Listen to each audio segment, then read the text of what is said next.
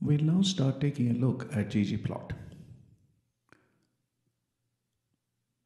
So the first thing to understand is that all of the functionality of ggplot resides in a package called ggplot2 which means really that you have to load that package before you can use any of the features of ggplot.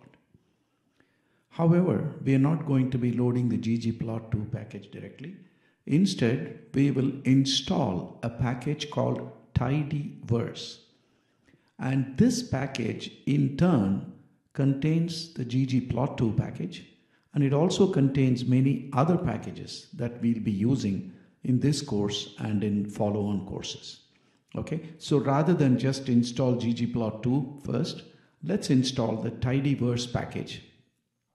And once you install the tidyverse package, you can load the package, of course, as usual by doing library tidyverse. What that does is that loads the tidyverse package.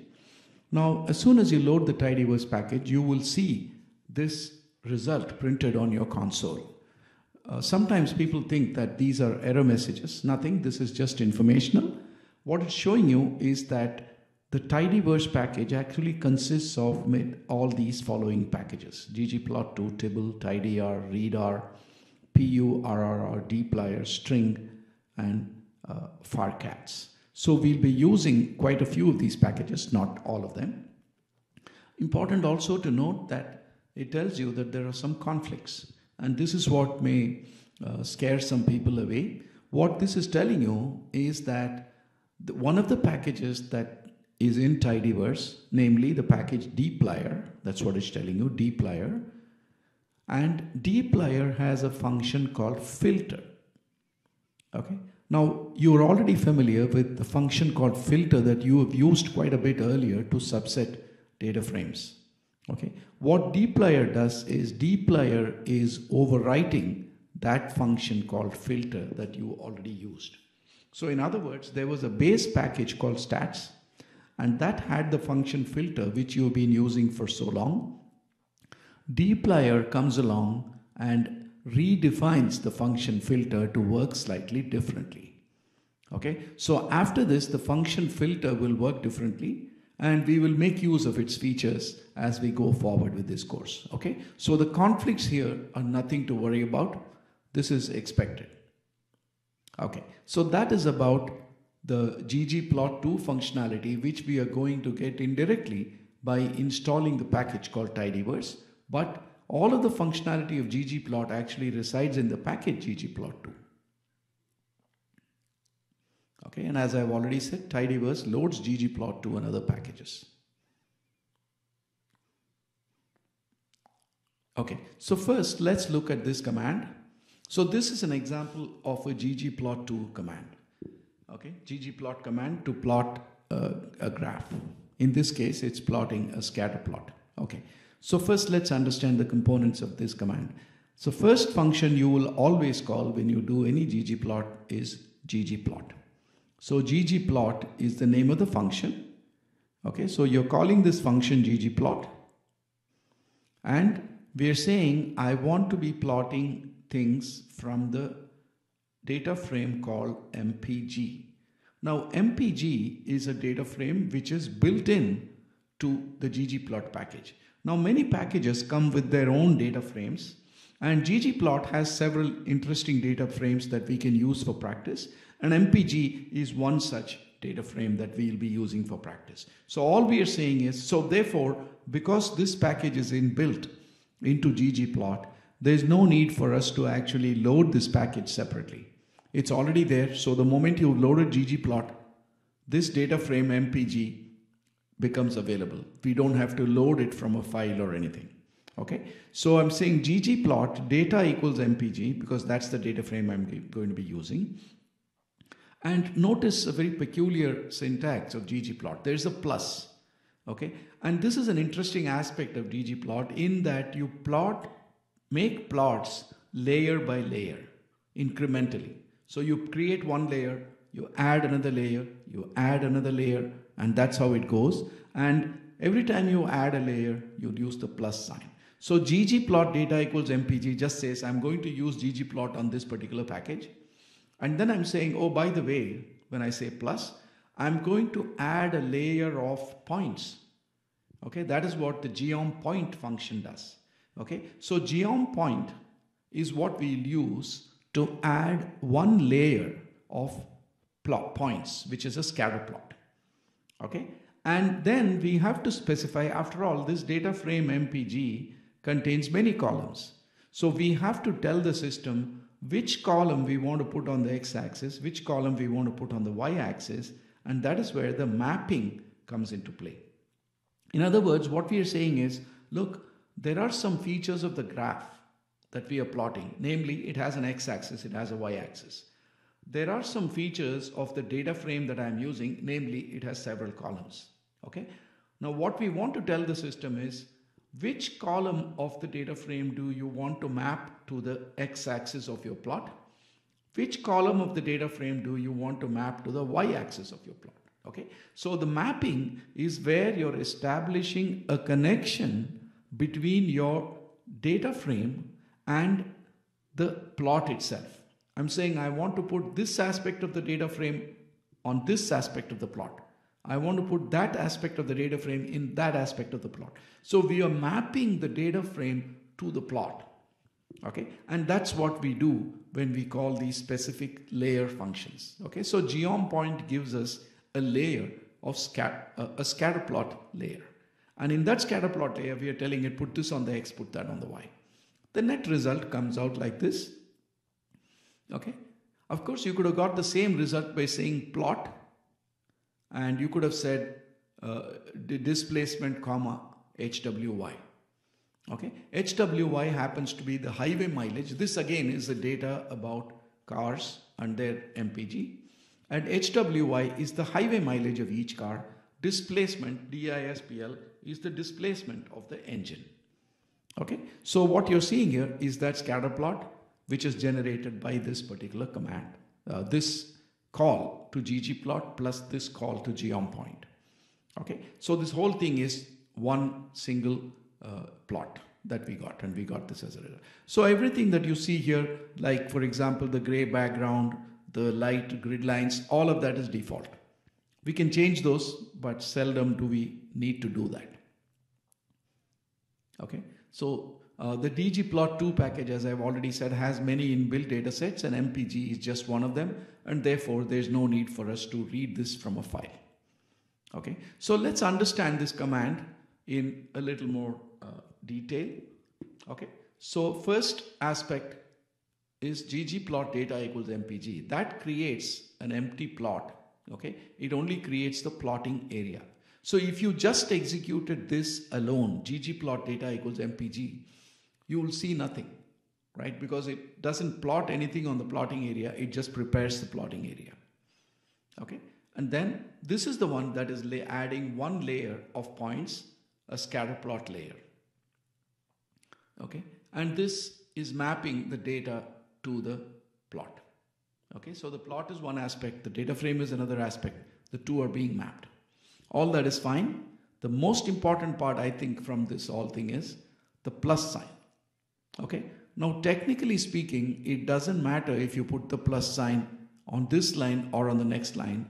But with ggplot, it matters a lot, right? Because if you don't put the plus sign here uh, at the end of the first line before you break the command into two lines, then what will happen is if the plus sign is here, when you execute this, R will think that ggplot data equals mpg is your complete command and you will see nothing as a result. The moment you put plus here and then move on to the next line, the, when the system tries to execute this, it knows that this line is incomplete and it will then go on and execute the next line. Right? That's the only reason why we have to, if you break a ggplot command across multiple lines, you have to take care that to see that the plus is on the prior line. Okay, so that the system understands that this is as yet incomplete and something else is following. If the plus were not here, it would think this is the complete command and it'll execute that and you'll see nothing. Okay, so this is very important. If you're breaking ggplot commands in, across multiple lines, make sure that the plus sign is at the end of each line. If you're breaking it, you don't have to break it. You could have put this whole thing in one line and that would have been perfectly fine. Okay, so the structure of the ggplot call so far is first you call ggplot and then you say the name of the data frame, say data equals name of the data frame, and then you put a plus sign and then add layers of points, right? In case you wanted to add another layer, you would have said plus here and new layer, another layer plus there, new layer. Okay, so you can build all your plots incrementally quite easily. And ggplot provides many geoms. For each kind of plot that you want, you can specify a geom. Okay, and here in the mapping, you specify what part of your data connects to what aspect of the plot. Okay, so try running this command ggplot data equals mpg. Try running this command all by itself and see what happens. Okay, so you could pause the video, run the command, and then come back to the video. Of course, what you'll see is that you get a blank plot because anything that is visible has to be specified by way of geoms. This command has no geoms, so you don't see anything visible. Okay, how many rows and columns are there in the auto MPG data set or in the MPG data set that we are using? Well, we know. We should just say dim MPG and we get this. Okay, so here I'm just trying to uh, extend your understanding. Write R code to create a scatter plot of highway mileage as a function of number of cylinders. Right, so I'm saying highway mileage expressed as a function of the number of cylinders. So you want to think about what do you want to put on the x-axis, what do you want to put on the y-axis, right? So typically when you say I want to find something as a function of something else, right? I'm saying y as a function of x. Okay, so in that case, whatever it is that is the result will go on the y-axis and whatever is going to determine the result will go on the x-axis and therefore we want to put number of cylinders on the x-axis and highway mileage on the y-axis. Okay. Other than that, the command should be very straightforward. Everything is the same except that we'll change the mapping of x and y. That's all. Okay. So earlier we had uh, y is mpg and x was, I forget what it was. It was something else. We just changed that now. Okay. Write R code to draw a scatter plot of class versus DRV. Okay, now DRV is a variable, it's a factor that tells you what kind of drive a car has front wheel drive, rear wheel drive, and all wheel or four wheel drive. So, what you see here is, of course, the code is this class. You want uh, aesthetic x equals class, y equals drive, because that's what we've been asked to do. Okay, so class tells us what class of vehicle it is you know, two-seater, uh, minivan, etc., etc. And drive is, as I said, front-wheel drive, rear-wheel drive, four-wheel drive, etc. So when you plot this, the result looks like this. Okay, it's quite different because after all, earlier we know that our data set has 398 rows, but here we can see we can count. Uh, you know, the less than 15 points are being shown here. Why is that happening? Okay, so maybe you should think a little bit before you continue with the video. Pause the video and think about why we are not seeing 398 different points here. Why is there, you know, less than 15 points that are being shown here?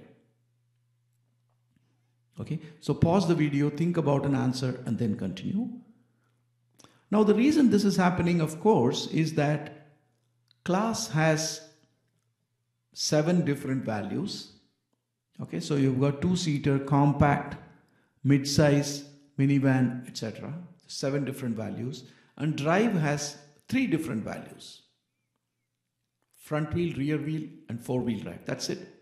So there are only 21 possible combinations of these two variables, right? So even though we have 398 points, there are only 21 distinct combinations and therefore at every point where you see a point, there are probably many points which are being overplotted. So for example, I may have a hundred cars which are compact and front wheel drive. Okay, there may be a hundred cars which are compact with front wheel drive, but all those hundred cars are in just this one point. Okay, so this is actually not one point. It's been probably 100 points plotted one on top of the other. Okay, that is why the plot looks like this. The interesting thing is that you are able to do a scatter plot even though the variables are factors. Normally, you would do a scatter plot only for variables which are numeric, right? But this allows you to do a scatter plot even for uh, even one or both of the axes could be factors.